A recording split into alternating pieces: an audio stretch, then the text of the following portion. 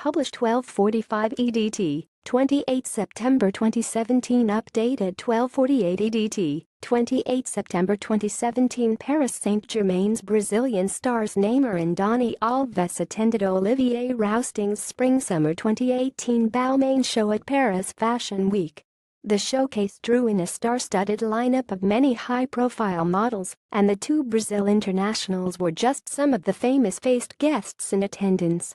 But the PSG duo stood out and were certainly dressed for the occasion as they were pictured backstage at the 8 Style event along with fashion designer Rousteing on Thursday.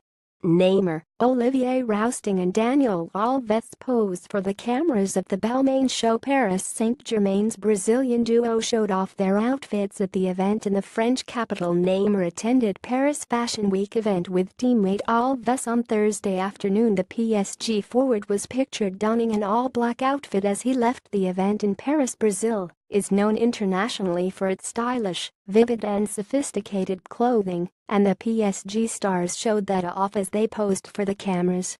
Neymar was donning an all-black outfit, while his compatriot Alves pulled out all the stops with a more eccentric look that consisted of a black blazer combined with a white shirt and a pair of sunglasses.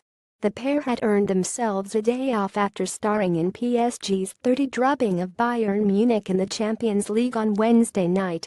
Alves and Neymar celebrated together after the former opened the scoring on Wednesday PSG star Neymar encouraged the crowd after he netted in the victory over Bayern Munich both Neymar and Alves got on the scoresheet in what was a ruthless display and showed just how classy a side the French giants are.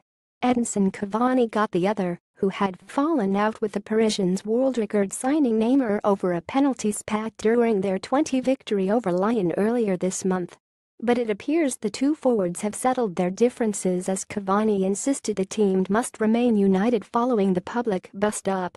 The striker recently had a public spat with new boy Neymar regarding the taking of a penalty Edinson Cavani has insisted PSG must remain a family if they are to achieve things this year are all different we might all have different ways of living and seeing things, Cavani recently told Italian broadcasters Mediaset Premium. But when we are on the pitch, we have to all work together, as if we're a family, to go towards the same objective, which is for the team to win, the Uruguayan added.